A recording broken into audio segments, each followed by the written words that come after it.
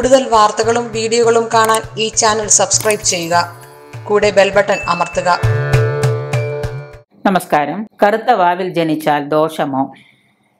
അമാവാസി ദിവസം ജനിച്ചാൽ അത് ദോഷമാണോ ഗുണമാണോ?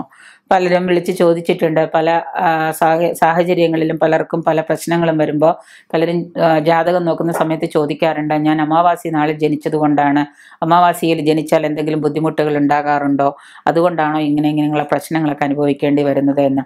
ചന്ദ്രന് പക്ഷബലമില്ല എന്ന് പറയുമ്പോൾ തന്നെ അവിടെ പല സാഹചര്യങ്ങളും നമുക്ക് സാധ്യതകളുണ്ട്. ഒരു വ്യക്തി ഇപ്പൊ അമാവാസിയിൽ അല്ലെങ്കിൽ ഇതിൽ ജനിച്ചാൽ അത് ദോഷമാണോ എന്ന് ചോദിച്ചാൽ എന്ന് ജനിച്ചാലും ദോഷവുമുണ്ട് ഗുണമുണ്ട് നല്ല സമയത്ത് ശുക്ലപക്ഷ തീയതിയിൽ ജനിക്കുന്നവർക്കും ഗുണമുണ്ട് ദോഷമുണ്ട് അതുപോലെ തന്നെ അമാവാസിയിൽ ജനിച്ചാൽ ചന്ദ്രന് പക്ഷബലം ഇല്ല എന്നുള്ളത് കൊണ്ടാണ് നമുക്ക് പലർക്കും പല ദോഷങ്ങളും ചിലപ്പോൾ അനുഭവിക്കേണ്ടതായിട്ട് വരുന്നത്. ഒരു വ്യക്തിക്ക് അനുഭവ ഗുണവും ശ്രേഷ്ഠതയും നിശ്ചയിക്കുന്നത് ചന്ദ്രനാണ്. ചന്ദ്രനെ കൊണ്ടാണ് നമ്മൾ അനുഭവ ഗുണവും ശ്രേഷ്ഠതയും നിശ്ചയിക്കുന്നത്. ഈ ചന്ദ്രന് പക്ഷബലം ഇല്ല എന്ന് പറയുമ്പോൾ നമ്മൾ അതിനെ ഒരു സാധാരണ മട്ടിലാണ് ഉൾക്കൊള്ളുന്നത്. അതായത് ഒരു വ്യക്തി അമാവാസി ജനിച്ചു എന്ന് പറഞ്ഞാൽ ഉടനെ നമുക്ക് മനസ്സിലാക്കാം ഇയാളുടെ ചന്ദ്രന് പക്ഷബലം ഉണ്ടാവില്ല. ചന്ദ്രന് പക്ഷബലം ഇല്ലാത്തൊരു വ്യക്തി എന്ന് പറഞ്ഞാൽ തീരുമാനങ്ങൾ എടുക്കാൻ ചിലപ്പോൾ അയാൾക്ക് സാധിച്ചു എന്ന് വരില്ല. ചിലപ്പോൾ എടുക്കുന്ന തീരുമാനങ്ങളൊന്നും അനുകൂലമായിക്കൊള്ളണമെന്നില്ല അപ്പൊ മാനസികമായിട്ടുള്ള ആ ഒരു ചാഞ്ചാട്ടം അല്ലെങ്കിൽ മാനസികമായിട്ടുള്ള ആ ഒരു ബുദ്ധിമുട്ടുകൾ അത് വളരെയേറെ നേരിടേണ്ടി വരുന്നു എന്നുള്ളതാണ് ഒരു പ്രത്യേകത. അപ്പോൾ ചന്ദ്രനെ കൊണ്ട് നമ്മൾ കാര്യങ്ങൾ നോക്കുമ്പോൾ ചന്ദ്രന് ബലമില്ലെങ്കിൽ പൊതുവെ അനുഭവ ഗുണം കുറയും എന്ന് വേണം നമുക്ക് പറയാൻ. അപ്പോൾ അമാവാസിയിൽ ജനിച്ചു എന്ന് പറഞ്ഞാൽ നമുക്ക് മനസ്സിലാക്കാം ചന്ദ്രന് ബലം കുറവായിരിക്കും. ചന്ദ്രന് പക്ഷബലവും ഇല്ല എന്നൊക്കെ വേണമെങ്കിൽ പറയാം. അപ്പോൾ ചന്ദ്രന് അനുഭവ ഗുണം കുറയുന്ന ഒരു സാഹചര്യമാണ് അമ്മയാണല്ലോ ചന്ദ്രൻ. അപ്പോൾ ആ സാഹചര്യത്തിൽ നമുക്ക് പൊതുവായിട്ടുള്ള അനുഭവ ഗുണങ്ങൾ കുറഞ്ഞിരിക്കും.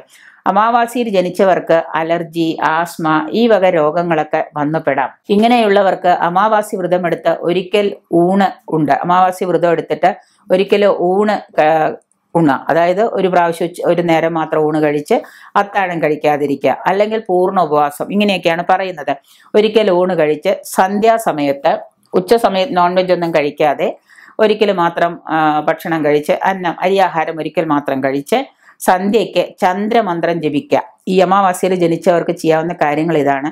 എല്ലാ അമാവാസി ദിവസവും കറുത്ത വാവ് ദിവസവും നിങ്ങൾ ഒരിക്കൽ ഊണ് ഒരിക്കൽ ഭക്ഷണം ഊണ് അരി ഭക്ഷണം കഴിച്ച് സന്ധ്യ സമയത്ത് ചന്ദ്രമന്ത്രം ചന്ദ്രമന്ത്രമുണ്ട്. അത് ജപിക്കാം ദുർഗാ ക്ഷേത്രത്തിൽ നമ്മൾ ചന്ദ്രനെ പ്രീതിപ്പെടുത്താൻ വേണ്ടിയിട്ട് ദുർഗാ ക്ഷേത്രത്തിൽ രാവിലെയോ വൈകിട്ടോ ദുർഗാ ക്ഷേത്രത്തിൽ പോയിട്ട് ദുർഗാ മന്ത്രം ജപിക്കാം. ദുർഗാ മന്ത്രമൊക്കെ ഇപ്പൊ ഗുരുവിൽ നിന്ന് വേണമെന്നില്ല. നമുക്ക് ബുക്കുകളൊക്കെ വാങ്ങിക്കാൻ കിട്ടും.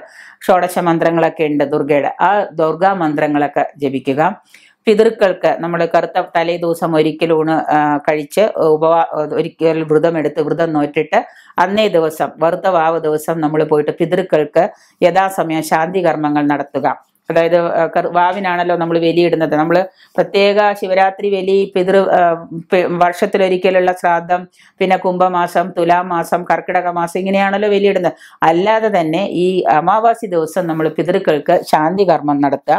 അന്നേ ദിവസം ചന്ദ്ര മന്ത്രം ജപിക്കുക. സന്ധ്യാസമയത്ത് സന്ധ്യയ്ക്ക് സൂര്യൻ അസ്തമിക്കുന്നതോടുകൂടി തന്നെ ചന്ദ്രന് നമ്മൾ ചന്ദ്രമന്ത്രം ജപിക്കുക. ദുർഗാ ക്ഷേത്രത്തിൽ പോയിട്ട് ദുർഗയ്ക്ക് വെളുത്ത പൂക്കൾ കൊണ്ട് പുഷ്പാഞ്ജലി ചെയ്യുക.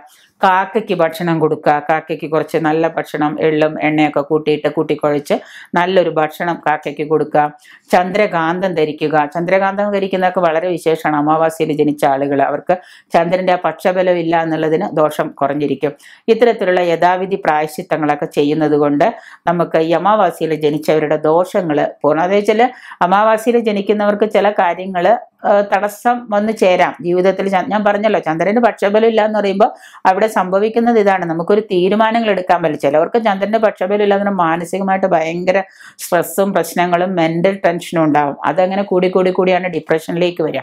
അപ്പൊ അങ്ങനെ വരാതിരിക്കാൻ നമ്മൾ ജാതകം പരിശോധിച്ചിട്ട് ജാതകത്തിൽ അങ്ങനെയാണ് എന്ന് തോന്നിക്കഴിഞ്ഞാൽ ഒന്ന് ചന്ദ്രന് പരിഹാരങ്ങൾ ചെയ്യാം. ചന്ദ്രകാന്തം ധരിക്കാം ദുർഗയ്ക്ക് വഴിപാട് ചെയ്യാം സന്ധ്യാസമയത്ത് ചന്ദ്രമന്ത്രം ജപിക്കാം. ചന്ദ്രന്റെ മന്ത്രങ്ങൾ നമ്മൾ എപ്പോഴും ഇങ്ങനെ ചാൻഡ് ചെയ്തുകൊണ്ട് നടക്കുക.